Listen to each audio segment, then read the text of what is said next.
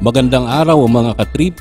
Isang lalaki sa Poland na dalawampung taon nang namumuhay ng walang paningin ang biglang nakakitang muli matapos siyang masagasaan ng kotse.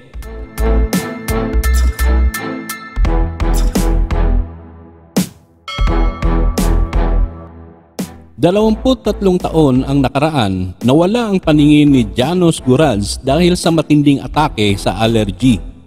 Simula noon, hindi na makakita ang kanyang kaliwang mata, samantalang ang kanan naman ay nakakaaninag lamang ng anino.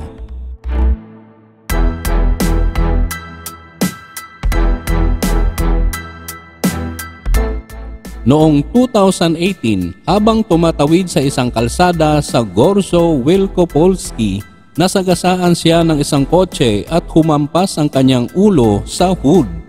Agad siyang naisugod sa ospital at inoperahan sa natamong pinsala sa bewang.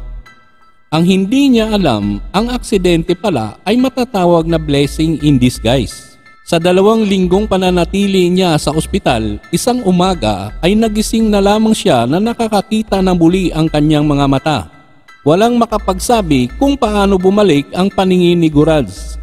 Maraming nagsasabi na maaaring dahil sa pagkabagok ng kanyang ulo ang sanhi.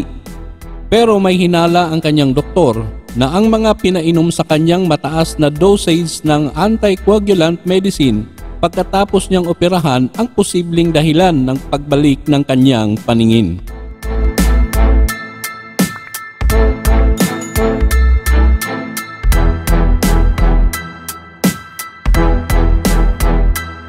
Maraming medical experts ang humingi ng pahintulot mula kay Gorads na pag-aralan ang malahimalang pagbalik ng kanyang paningin, ngunit tinanggihan niya ang mga ito.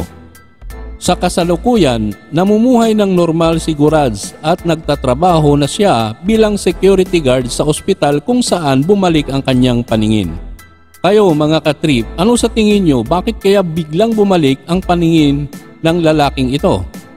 Hanggang dito na lang muna tayo mga katrip. Huwag kalimutang mag-like, comment at mag-subscribe. Magandang araw sa ating lahat.